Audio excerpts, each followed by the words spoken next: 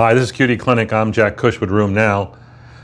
QD Clinic is brought to you by RheumNow and where you spend your time smartly when going to a virtual meeting like the ACR. Consider it. This case is the diagnosis and treatment of peripheral spondyloarthritis.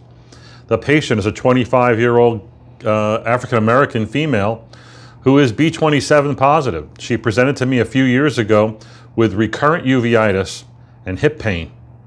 Turns out she would have intermittent knee synovitis and effusions that would need to be drained, occasionally injected. She was on, on steroidals. She's been through the ringer, meaning she's had recurrent uveitis. She's without damage, thankfully. She's had uh, recurrent knee effusions and oligoarthritis. She's had severe progressive hip disease and damage requiring a total hip replacement. All the while, a few years of this while taking etanercept, and then adalimumab, and then certolizumab, and then IV golimumab. And you know, they kind of worked. They might have been better at controlling her uveitis than her arthritis, but boy, it never really worked. So what happened next? We put her on an IL-17 inhibitor. We put her on secukinumab thinking, this will work, this will be great. Wrong.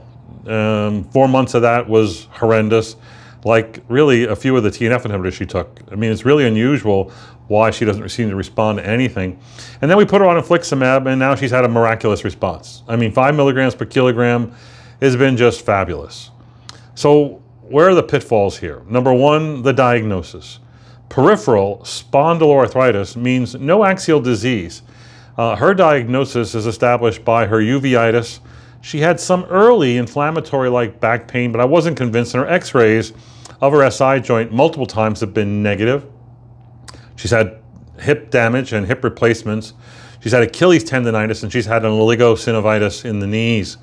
So she meets the ASAS cl classification criteria. Look, this is what they show. You can see on the right, if you have peripheral arthritis, you can have enthesitis and have the diagnosis, or you can have arthritis, enthesitis, and inflammatory low back pain.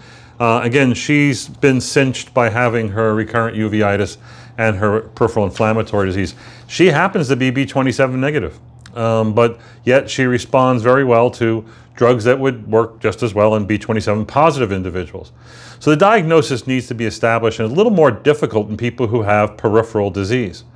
The next is going to be treatment. And she's been difficult. Non-steroidals, no effect. Steroids, intra-articularly some effect, but really oral, no effect at all. And then she's been through the ringer. Three and a half, four years, four biologics, uh, TNF inhibitors, no effect. Um, another less than half year with an IL-17 inhibitor, really no effect there.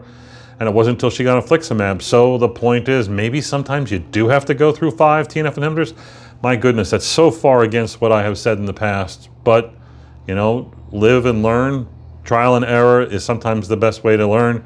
Um, I'm glad she's doing very well on this, but you have to be persistent. The question is, what would happen if she didn't respond to the um, moderate to high dose of infliximab? She's on five milligrams per kilogram. Well, number one, um, IL-23 inhibitors don't seem to have much effect in axial disease. No, not sure what they would do with peripheral spondyloarthropathy. Not been tested. Next, your option could be another IL-17 inhibitor like ixekizumab or any of the others coming up in the future. Um, would she do well with an IL-12-23 inhibitor like um, ustekinumab? Uh, I probably would not try her on a apremilast because I'm not sure it really would work in something like this. But those are the remaining options when really frustrated. And thankfully, I'm not really frustrated on this case.